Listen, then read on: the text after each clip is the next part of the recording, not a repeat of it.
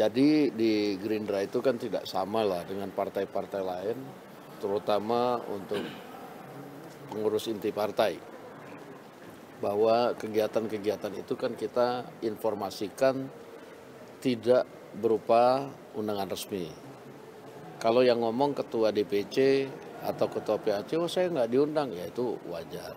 Tapi kan ini eh, ya lihat aja kemarin semua hadir pada acara itu kecuali Pak Padlizon memang sedang tugas negara eh, ke luar negeri dalam rangka diplomasi parlemen. Demikian. Artinya harus ada kesadaran sendiri gitu ya, Pak? Saya nggak saya nggak mau apa namanya eh, berpolemik di media. Tapi hal ini saya pikir sudah cukup jelas. Biarkan nanti eh, ya rakyat aja yang menilai lah gitu. Ya apa yang disampaikan Ketua Mahkamah Partai Partai Persatuan Pembangunan tentunya saya tidak mau menanggapi lebih jauh karena itu adalah hak berpendapat dari eh, Partai Persatuan Pembangunan. Nah apa pun itu kita hormati bahwa apa yang disampaikan itu juga dikirimkan oleh teman-teman ke media kepada saya soal kebelat soal apa itu ya itu silakan interpretasi dari teman-teman P3 saja. Kami dalam posisi tidak mau berpolemik demikian.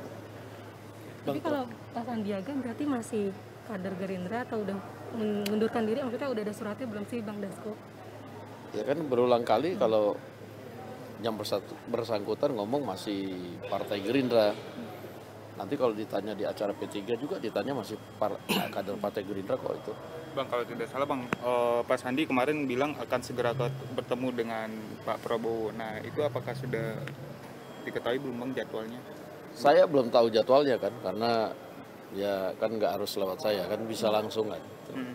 Bang Dasko, tapi eh, kalau ini kan yang disampaikan oleh Partai P3 ini semacam eh, sentilan begitu karena kader Gerindra dinilai terlalu eh, ngebet begitu menjadi capres. Nah, tapi kalau dari Gerindra sendiri Bang Bang Dasko sebagai ketua harian ada langkah yang mungkin akan dilakukan tidak ke depan kepada Pak Sandi? saya pikirkan yang disampaikan itu kan eh, dia menyampaikan ada orang ya, bukan institusi partai gitu.